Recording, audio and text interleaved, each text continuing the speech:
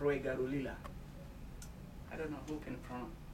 Can you pronounce my last name? Rwegarulila? It's very, very difficult.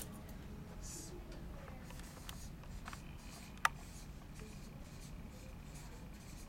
Justus.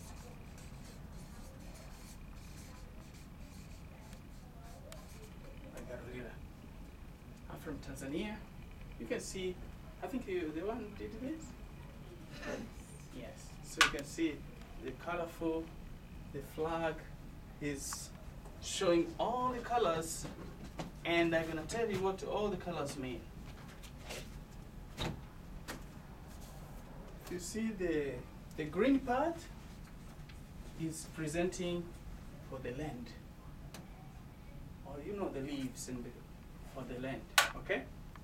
And the yellow part is presenting the richness of the country, minerals. We have a lot of good stones there. Have you heard of Tanzanite? Tanzanite? Or gold? You know gold. And diamond? So all those richness of the country are presented on the flag with the color yellow. Okay? And then we have black. Who can tell me black presents what? For people, we people, we are presented by the color black. Okay? And then what about blue? Just guess. Blue. Water. Water. Water. We have a lot of rivers. We have lakes. Actually, we have a, the big uh, the big lake called Lake Victoria. It is the third largest lake in the world. So all the lakes, rivers, and ocean. We are next to Indian Ocean. Are in that ocean. Can go as far as uh, India, uh, China. It's a big ocean. So all are presented in those um, in the blue color. Okay. So now we know about the the flag. Okay. You will forget the colors? No. Green, yellow, black, and blue. So when you see it, you know that is Tanzania. Okay? And today, somebody asks you, what is black present? You should be able to tell something, is it? Or green for what? You should be able to tell, is it? All right. Then I'm going to talk about the history of this country, Tanzania. Tanzania is a country that was, um, before it used to be known as Tanganyika. Tanganyika. Tanganyika. Can you read this? Tanganyika. So, how did it come to be called Tanzania? It was a miracle. In on, on December 9th, 1961, this Tanganyika got its independence from the British. And then there is a small, small island called Zanzibar. You have heard of Zanzibar, is it? Zanzibar. And you can see it has a lot of beautiful stuff. When you go to Zanzibar, you will see a lot of beautiful stuff.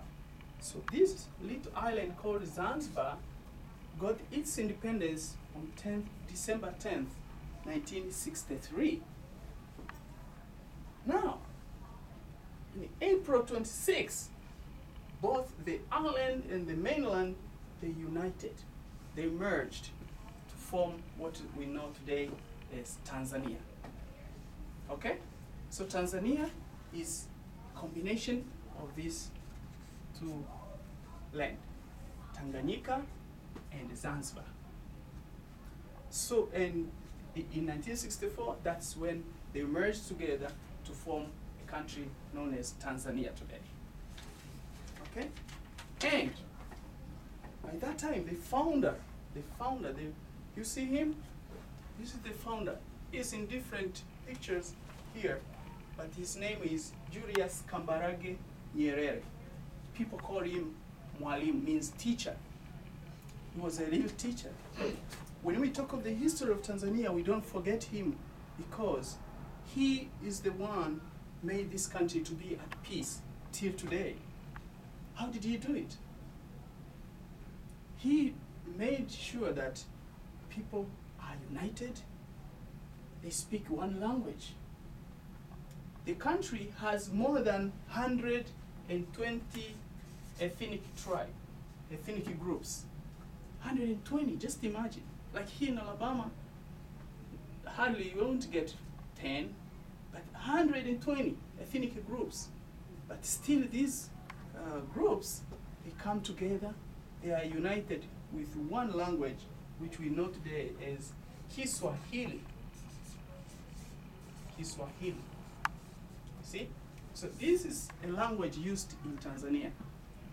From the childhood, you can speak the mother tongue, but when you grow up, you have to learn Kiswahili.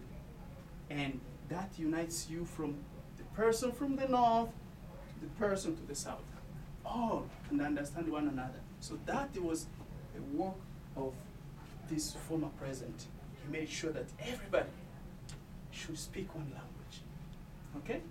And that is what it brought the peace till today. And then, this country had, uh, since independence, 1961, it had only four leaders. Fr- from him, he ruled from 1961 to, um, I think, yeah, 1985. About 24 years. He has been president for 24 years. Can you imagine? You see, 24 years as a president. And then, uh, he was getting tired. I think, I think people wanted him to keep leading.